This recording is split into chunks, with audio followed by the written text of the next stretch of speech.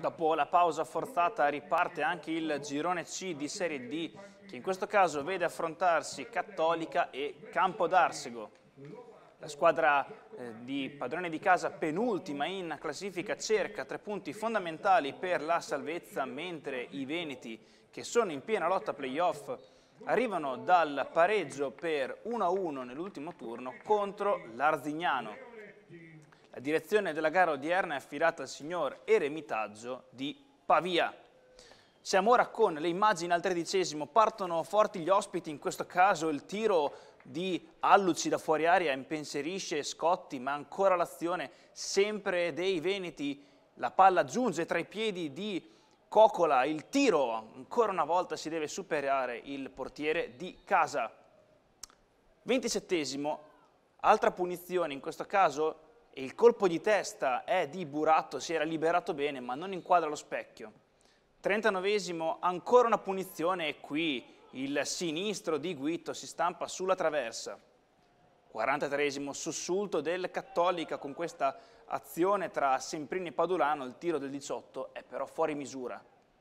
Ci provano gli ospiti, siamo al 48esimo, passano in avanti così, il colpo di testa è di Solinas, il secondo gol per lui in maglia biancorossa, l'assist al bacio è di Coccola.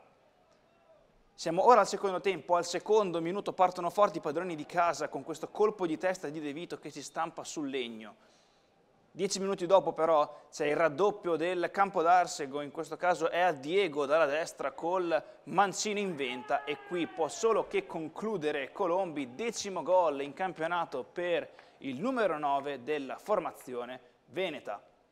Ventunesimo però accorcia le distanze il Cattolica, questo traversone dalla sinistra, la palla arriva tra i piedi di Morri che batte Fortin, chiama i suoi per una possibile, possibile remontata che non arriva perché al ventisettesimo gli ospiti si riportano sul più due con questa splendida punizione dal limite di Alluci, seconda marcatura stagionale per lui, 33esimo però il Cattolica prova un'altra reazione con questa azione dalla sinistra e poi il pallone arriva tra i piedi di Padulano, la conclusione è respinta.